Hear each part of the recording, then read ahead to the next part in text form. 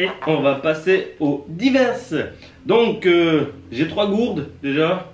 Ce qui est chiant avec les gourdes, franchement, c'est faut les nettoyer, autrement ça devient visqueux à l'intérieur. Avec la chaleur, tu as aussi un goût de plastique quand tu bois avec l'eau. Euh, franchement, c'est pas super super.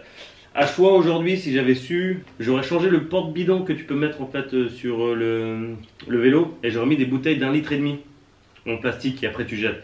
C'est franchement beaucoup plus pratique que les gourdes. Euh, le gel, autant dire, je me suis coiffé je crois deux fois. Le casque, je roule toujours avec. Toujours. Et, euh, la plupart des accidents, ils se font pas en ville. hein.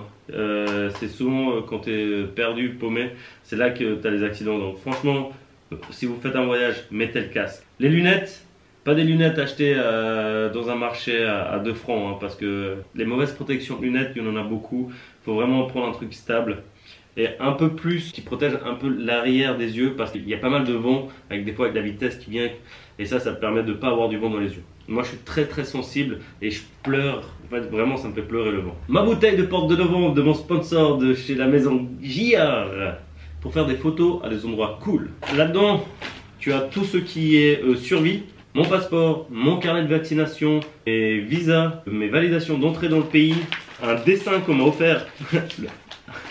Le fils d'un imam qui m'a fait un dessin. Il m'a appelé Bikeman.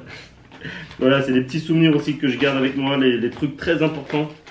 Ça, c'est toujours dans la sacoche avant avec moi que je prends chaque fois que je lâche le vélo quelque part. Dans la sacoche avant aussi, j'ai des cailloux. C'est au cas où il y a des chiens qui m'attaquent, avoir quelque chose. Des fois, juste le fait de faire ça permet que le chien ben, euh, se stoppe parce qu'il sait, il a, il a déjà été caillassé.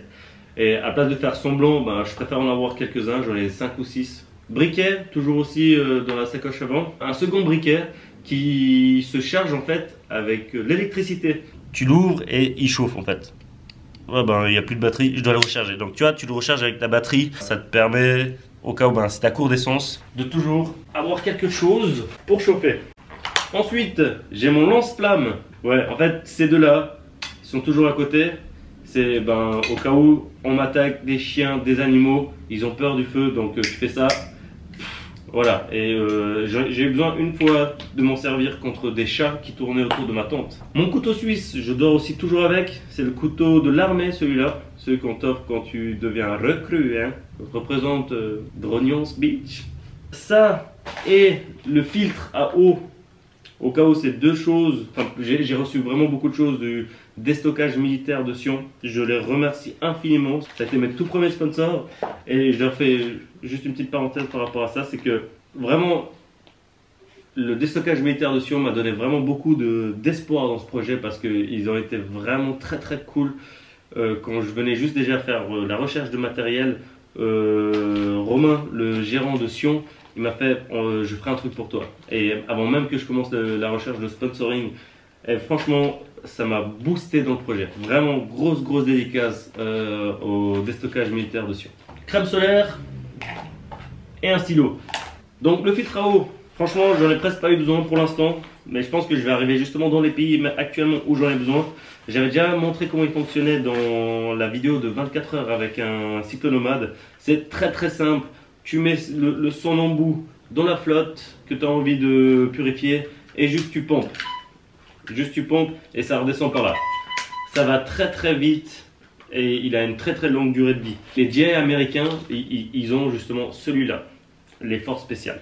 Et voilà donc euh, c'était tout ce qui était concernant le divers. Alors, oups, j'ai toujours aussi un petit chiffon pour nettoyer ma tonte, pour enlever l'humidité chaque matin, qui est aussi dans ma sacoche à moi.